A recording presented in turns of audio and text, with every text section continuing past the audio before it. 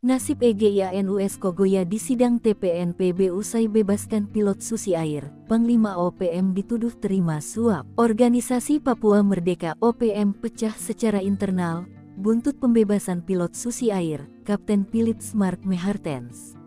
Imbasnya, Panglima OPM Egyanus Kogoya kini akan diseret dalam sidang istimewa di dalam organisasi. Bersama tiga orang lain, Egyanus Kogoya dituduh menerima suap dari pihak luar mereka sehingga membebaskan pilot Susi Air dari Sandera. Juru bicara TPNPB OPM Sebi Sambom dalam keterangan tertulis menyebut, TPNPB mengeluarkan daftar hitam untuk empat orang, masing-masing Ek, YK, EW dan YK. Mereka masuk dalam daftar hitam karena dianggap sebagai pengkhianat, setelah menjadi tim yang terlibat dalam pelepasan Kapten Philip Mehartens. Daftar hitam itu diumumkan berdasarkan hasil rapat Markas Pusat Komando Nasional TPNPB bersama Kepala Dewan Militer TPNPB Wilayah Tigandugama Derakma Mayor Oscar Wandikbo pada tanggal 26 September tahun 2024. Sebi menuding nama-nama tersebut adalah mereka yang telah menerima uang suap dari aparat keamanan Indonesia dalam misi pembebasan pilot asal Selandia Baru Philip Merten. Sebi juga menyampaikan hal serupa terkait dengan Egyanus Kogoya dan kelompoknya.